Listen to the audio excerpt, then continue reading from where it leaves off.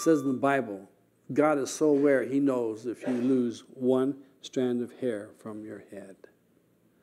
Now, that to me has got to be a pretty sharp God. Plus, He's got His nose in everybody's business or hair.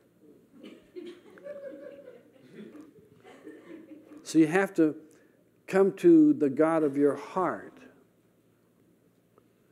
and sit down and be with the God of your heart.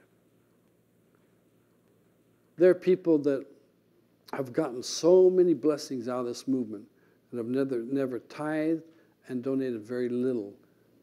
And all of a sudden their stuff starts to shut off. And we get letters to them. I tithe. I didn't get anything back. You're not supposed to get anything back from tithing. You're given time.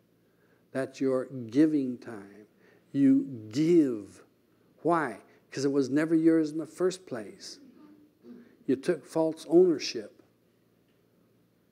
Well, the check was made out my name. The paper belonged to God. The ink belonged to God. The pen belonged to God. How did you get your name on there? I don't know.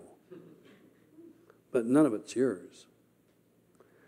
Then there's the story of the scientist that walks up to God and says, God, we don't need you anymore. We can make man.